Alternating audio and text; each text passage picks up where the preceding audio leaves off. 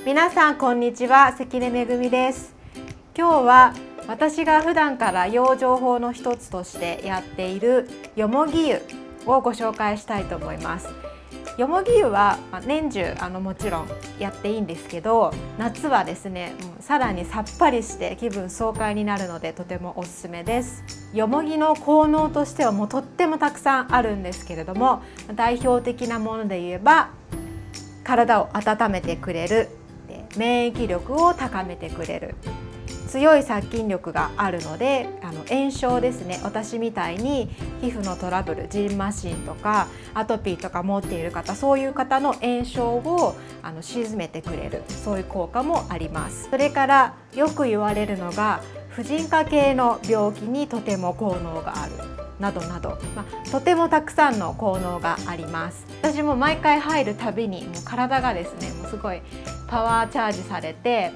すごくあの幸せな気持ちになってます。でそんなよもぎ湯をあのとても簡単なので今回は、えー、皆さんにご紹介したいと思います。ぜひ最後までご覧ください。えっと今回はよもぎが届いてそれを洗って干すっていうところは取ってないんですけどまずよもぎを摘んだら水でよく洗ってでこのようなざるとか、まあ、適当な容器に入れて干していきます、えー、こんな感じで太陽に当ててカラッカラに乾かします。完全に水分が抜けきるようなカラッカラの状態にします。だいたい2日くらいこれ干しました。はいでは天日干ししたよもぎを煮出していきます。用意するものは天日干ししたよもぎと自然の塩それから鍋。この3つです。はいそれでは鍋に水を入れていきます。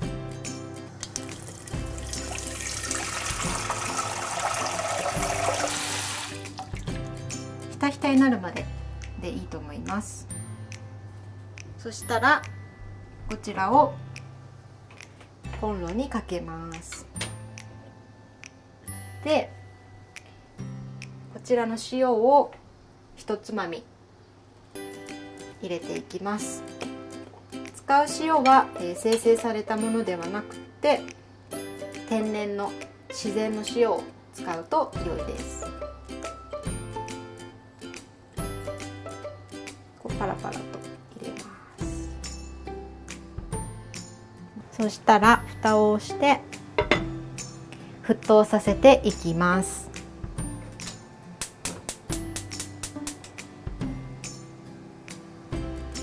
そしたらここでよもぎを投入していきます。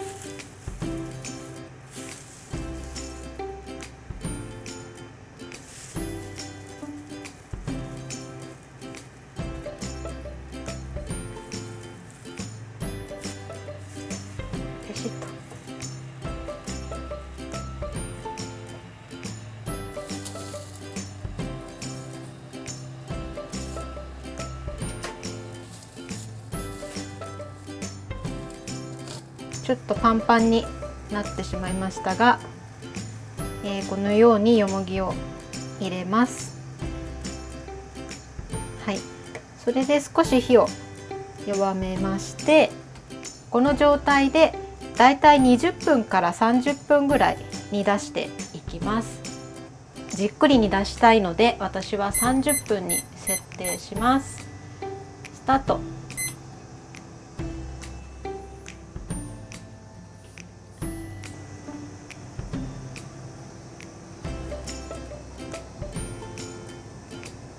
こんな感じでもうちょっと茶色く茶緑みたいな感じになってきてます。すごくいい匂いがします。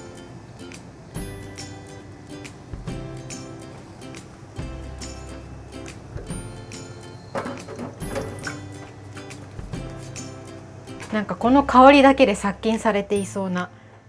殺菌力があるような浄化力があるようなそんな匂いがしています。ですぐに使わないよもぎはこういう紙袋に保存することで長期保存が可能です。ではあの早速こちらをお風呂へ持っていきたいと思います。最初によもぎの葉っぱをざるで、えー、取っていきたいと。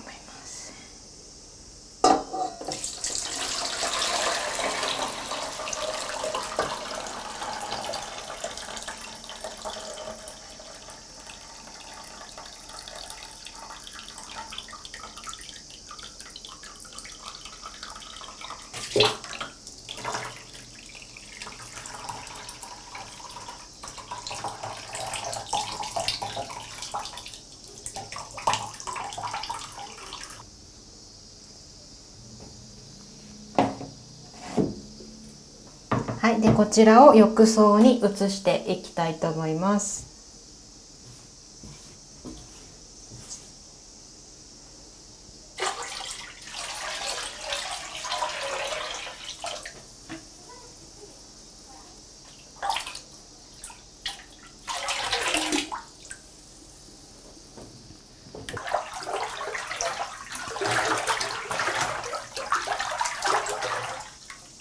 こんな感じでちょっと抹茶色っぽい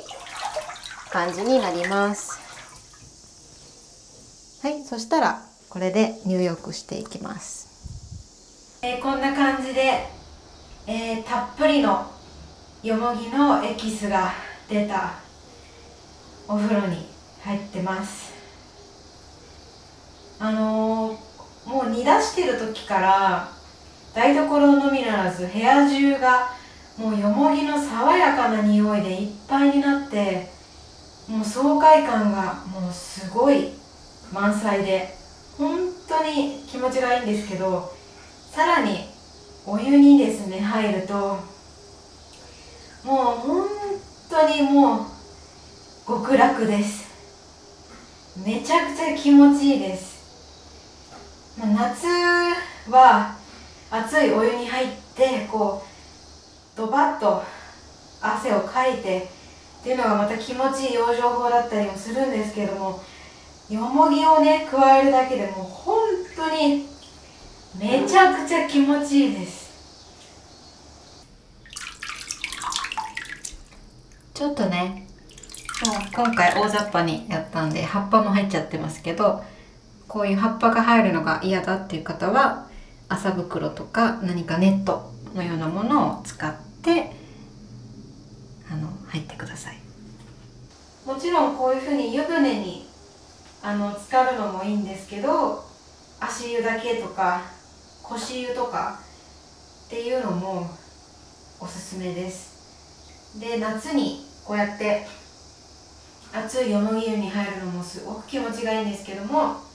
あ、冬にもちろん入るともう体がポカポカポカポカして寒い芯から冷えた寒い冬でも本当に温まるので一年中よもぎ湯はおすすめです。あ気持ちいいはいそれでは、えー、湯上がりの一杯を飲みたいと思います、えー、今日はドクダミ茶を入れました。よもぎ風呂で、えー、ドクダミのお茶野草の力を毎日たくさん借りています。えあの夏ですけど冷たい飲み物を飲むと、え体が冷えちゃうので温かいドクダミ茶を飲みます。喉乾きました。たっぷり入ったので。いただきます。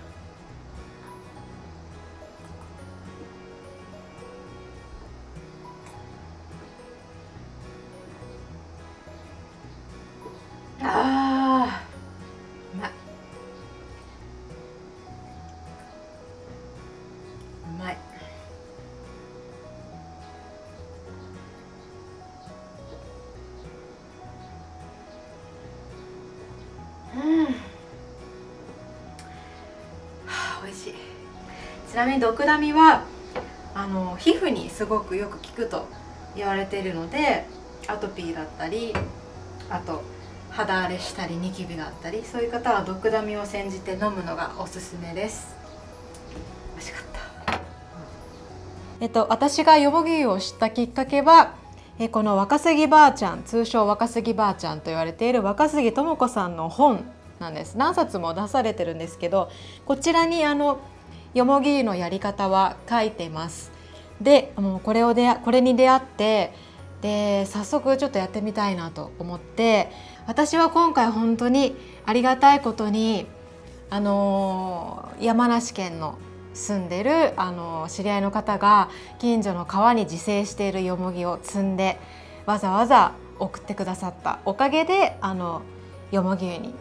入れました。がまあ、あの都会に住んでるとなかなかよもぎを見つけにくかったりすると思うんですけどそういう方はこちらの本にも書いてるんですけどノリカスタイルというウェブショップがありまして自然の食品だったり自然の天然由来の日用品とかそういうものを売っているウェブショップなんですけどそこでよもぎの葉っぱを乾燥させたものを販売しています。なのでそちらを取り寄せてあの私がやったみたいに鍋で煮出してで入るっていうこともできるので近くで手に入らない方は是非ネットショップを利用してみてください。でノリカスタイルというところの、えっと、リンクは概要欄に貼りますので是非気になる方はチェックしてみてください。はい、えー、それではご覧いただいてありがとうございました。えー、これからも、えっと、毎週末に、えー、私が普段やっている自然食とかあと、まあ、こう今日紹介したような養生法なんかを少しずつご紹介していきたいと思っています。